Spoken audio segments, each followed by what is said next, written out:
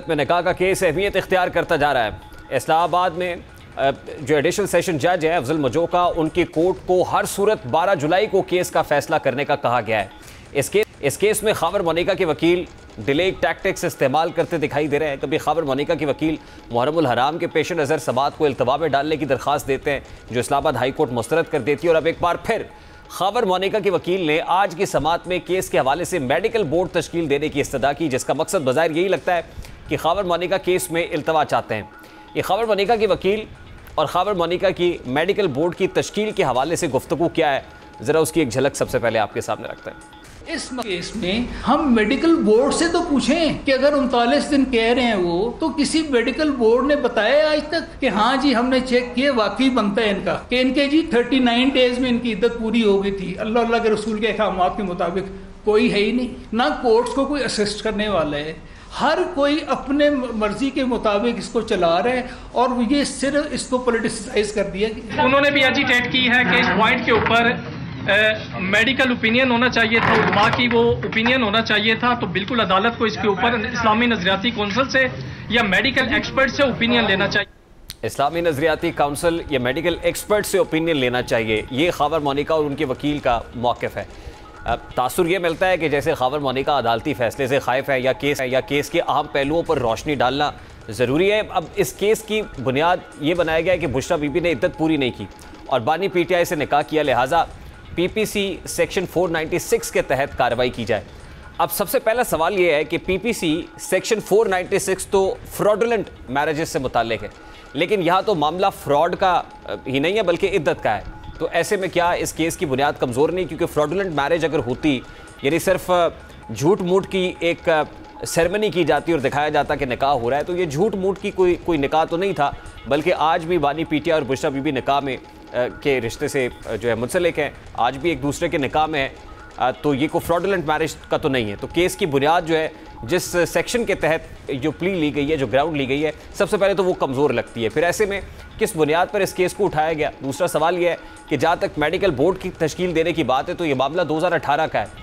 तो फिर medical board छः साल पुराने मामले को देखेगा और फिर कैसे किसी नतीजे पर पहुँचेगा छः साल पुराने इस मैटर के अंदर? तीसरा सवाल यह है कि इस केस में औरत की गवाही अहम होती है। वो जो कहे वही दुरुस्त तस्वुर होता है। इस्लामिक जरस्पोर्टेंस तो कुछ ऐसी ही कहती है।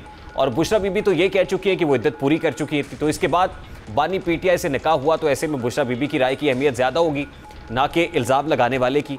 फिर इसी तरह नवंबर 2017 में खावर मोनिका की जानब से बुशरा बीबी को तलाक दी गई थी और फिर मुफ्ती सईद के बकौल बानी पीटीआई का बुशरा बीबी से निकाह जनवरी में हुआ।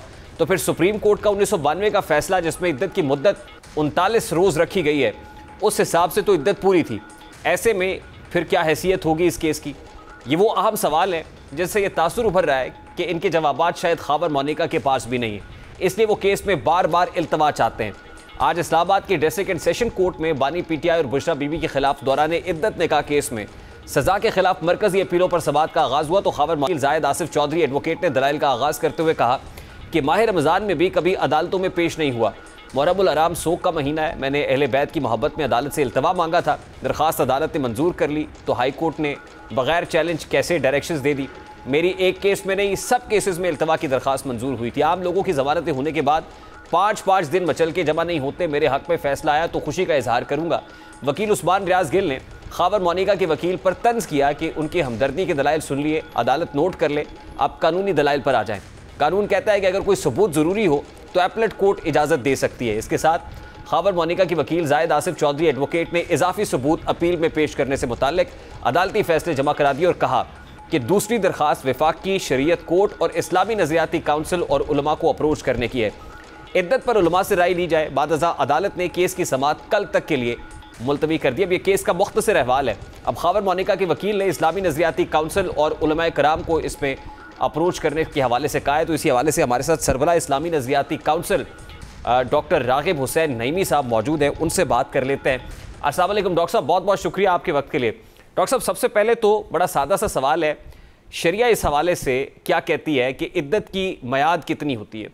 बिसमीम देखिए, जब हम बात करते हैं शरीयत इस्लामिया में इद्दत की मैद के हवाले से तो वो वेरी करती है अलग अलग होती है। हर ख़ातून के अतबार से।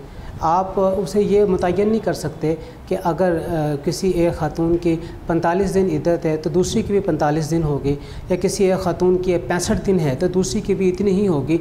हर ख़ातून का आ, मामला दूसरी ख़ातून के साथ मुख्तलिफ़ होता है। और फिर इसमें बड़ी अहम बात यह है कि ख़ातून कि जब एक ख़ास उम्र आ जाती है और जिसके बाद वो साइलेंट हो जाती है। सब मिनिमम टाइम पीरियड का कोई तस्वुर है कि उनतालीस रोज़ का मिनिमम टाइम पीरियड है? जैसा कि सुप्रीम कोर्ट ऑफ़ पाकिस्तान की 1992 की एक जजमेंट है जिसमें फ़िक हनफिया का हवाला भी दिया गया है। क्या उनतालीस रोज़ का कॉन्सेप्ट है कि मिनिमम थर्टी डेज़ पूरे करने चाहिए। देखिए, अगर हम फ़िका हनफी की बात करते हैं तो फ़िका हनफी की बड़ी मोतबर किताब अलहदाया में उनतालीस दिन का एक कॉल मौजूद है और अगर सुप्रीम कोर्ट ने इसकी कम से कम मुद्दत का बयान किया है तो वो फिर हदाया से उसको लिया है।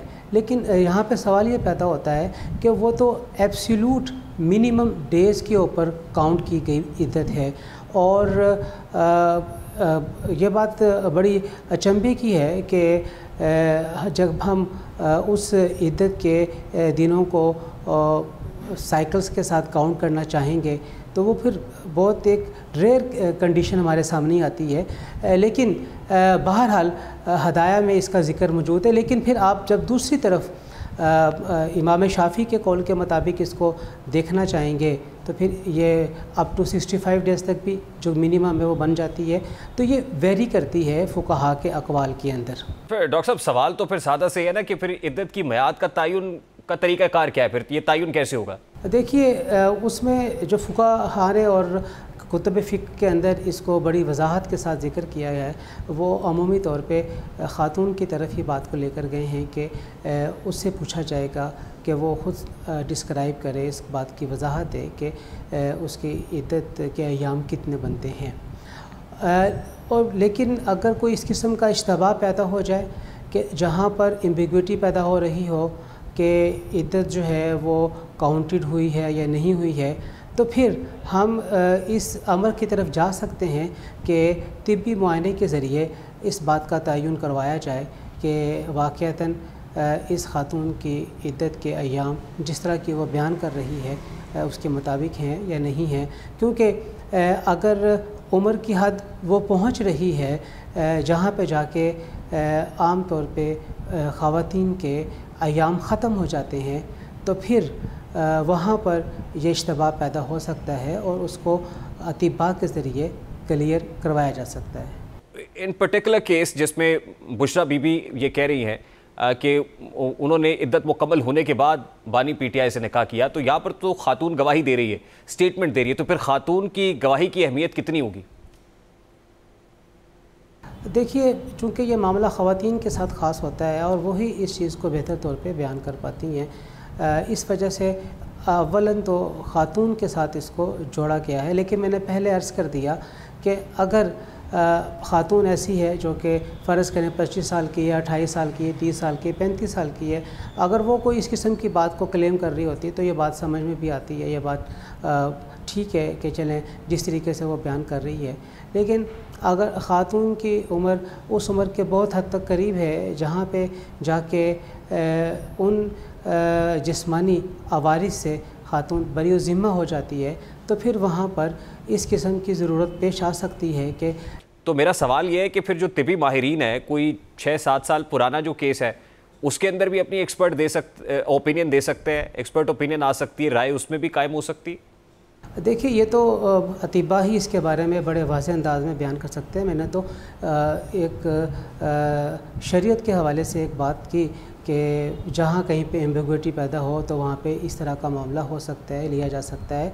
लेकिन जिस तरह हम ये देखते हैं कि डॉक्टर्स किसी भी डेड बॉडी के बारे में तयन करती है कि ये एक माह पुरानी है, दो माह पुरानी है, छः माह पुरानी है इसी तरीके से कई और एग्ज़ाम्पल हमारे सामने हैं, जहाँ पे हम उम्र की तयन को डॉक्टरी रिपोर्ट के साथ अटैच करते हैं देखते हैं।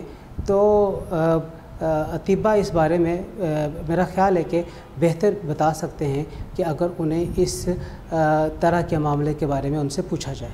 अच्छा डॉक्टर साहब लास्टली हमारी अदालतों के अंदर तो शायद ये केस बड़ा अनप्रेसिडेंटेड है इससे पहले शायद ही कोई ऐसी नज़ीर हो। इस्लामिक जोरिस्पोर्टेंस के अंदर कोई ऐसी ऐसे केसेस या ऐसे नज़ायर आपकी नज़र में हैं? आपकी नज़र से गुजरे? देखिए जहाँ तक केसेस की तारीख़ का ताल्लुक़ है केसेस की तारीख़ एक अलग चीज़ है और फ़िका एक अलग चीज़ है। अमूमी तौर पे जो हमारी फ़िका की किताबें हैं, उनमें केसेस का ज़िक्र नहीं होता है, उसमें उसूल बयान किए जाते हैं और उसूल इद्दत में निकाह करने के हवाले से यही बयान किया गया है कि ऐसा निकाह बातिल हो